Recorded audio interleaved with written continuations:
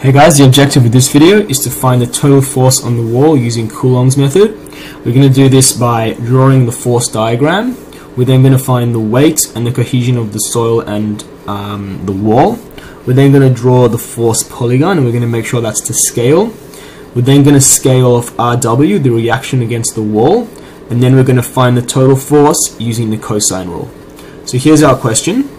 We've been given a soil, a wall, a retaining wall here, which is 4 meters high, and we've been told that the plane of failure is 20 degrees to the vertical, and that makes this 6 meters.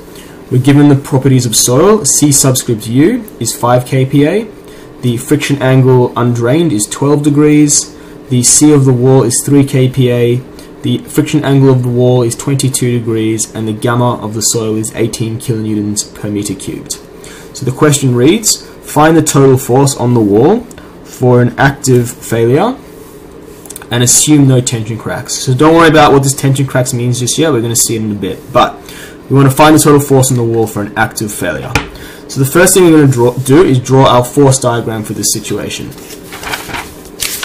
So we have our wedge of soil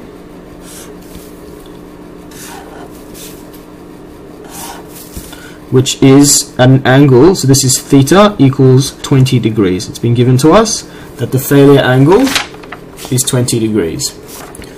So, and we've also been told it's an active failure. So if it's an active failure, it means the soil is falling this way. This is the soil movement.